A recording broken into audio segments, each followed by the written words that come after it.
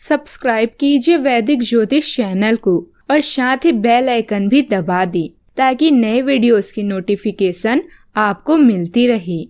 जय संतोषी माँ। दोस्तों, स्वागत है आपका वैदिक ज्योतिष में। जानते हैं आज क्या कहती है आपकी राशियाँ। कैसा रहेगा आपका दिन? शुरुआत करते हैं आज के सुविचार से। हमेशा उन्हीं के करीब मत रहिए, जो आपको खुश रखते हैं, बल्कि कभी उनके भी करीब जाइए। जो आपके बिना खुश नहीं रहते। जीवन बहुत छोटा है, उसे अच्छे से जिए।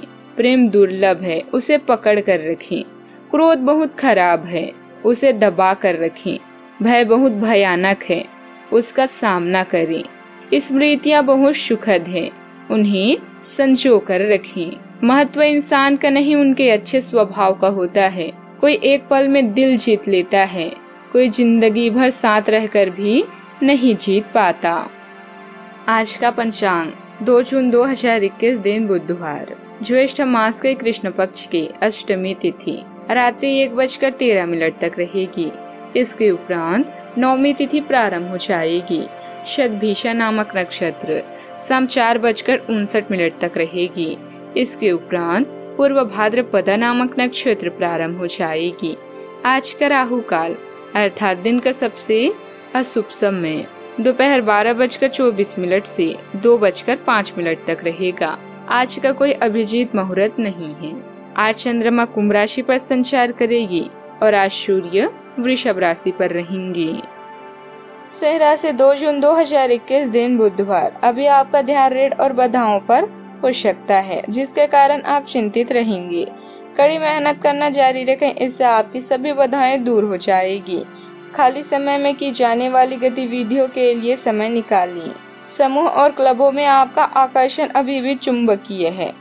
आज अपने साथी या दोस्त के साथ किसी महत्वपूर्ण विषय पर बात हो सकती है, जिस परिस्थिति में आप इस समय हैं उससे निकलने के लिए आप किसी की राय चाहते हैं।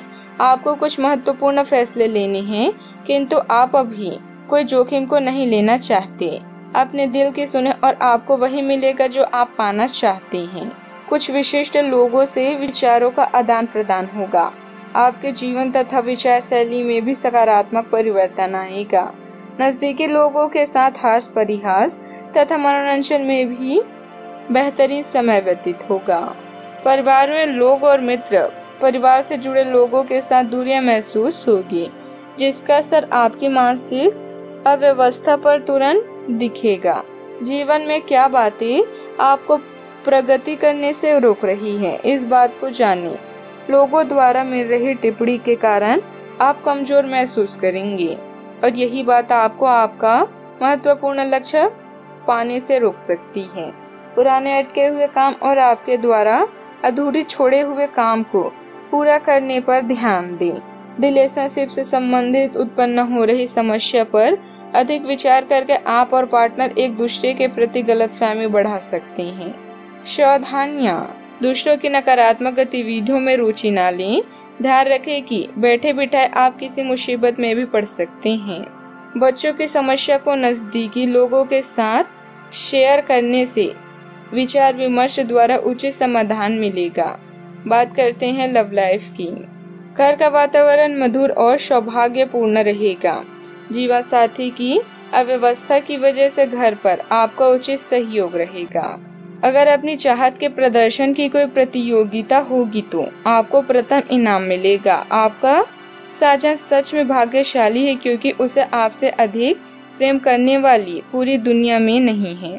रेडियो रोग की स्थिति में आपका परिवार आपके साथ खड़ा होगा। कुछ बड़े निर्णय लेने के लिए यह सही समय है। अपने साथी के साथ निजी मुद्दों पर बातचीत करना आज आपके कार्ड्स में है। अपने दिल की बात सुने और आप सच में उसे पाएँगे, जिसे आप चाहते हैं। सच्चे प्यार की तलाश है तो कुछ समय इंतज़ार करें। प्यार का सितारा आपके जीवन में जल्द ही चमकने वाला है। बात करते हैं करियर की। आज समय है अपनी दिनचर्या को परिवर्तित और नए अवसरों का सदुपयोग करने का। अपने अकेलेपन पर उदास महसूस कर सकती हैं। लेकिन जल्द ही किसी खास से मुलाकात आपके जीवन में बाहर ले आएगी। आज सर्वश्रेष्ठ प्रदर्शन करने पर आपको भविष्य में सुरक्षा प्राप्त हो सकती है। आज किसी मित्र या प्रियजन के साथ कोई महत्वपूर्ण बातचीत होने की संभावना है। अभी जो भी काम आप करें, दूसरों की सलाह अवश्य लें। कुछ बड़े निर्णय भी आपकी प्रतीक्षा कर रहे हैं। आज केवल अपने दिल की सुने और आप जो चाहेंगे, वह आपको अवश्य मिलेगा। उतार और चढ़ाव का दूसरा नाम ही जीवन। बात करते हैं सेहत की। घर का वातावरण मधुर और सौहार्दपूर्ण रहेगा। जीवन साथी की अव्यवस्था की वजह से घर पर आपका उचित सहयोग रहेगा। कमर दर्द को दूर करने के लिए फिजियोथेरेपी की मदद अवश्य लें। सेहत का पूरा ख्याल रखें। आज का उपाय। आज आप गणेश भगवान जी को सिंदूर चढ़ाएँ, अति शुभ रहेगा। दोस्तों, वीडियो को लाइक शेयर करना ना भूलिएगा। मिलते हैं अगली वीडियो में। जीवन में हमेशा सकारात्मक सोच के साथ आगे बढ़ते रहें। आपका दिन शुभ हो।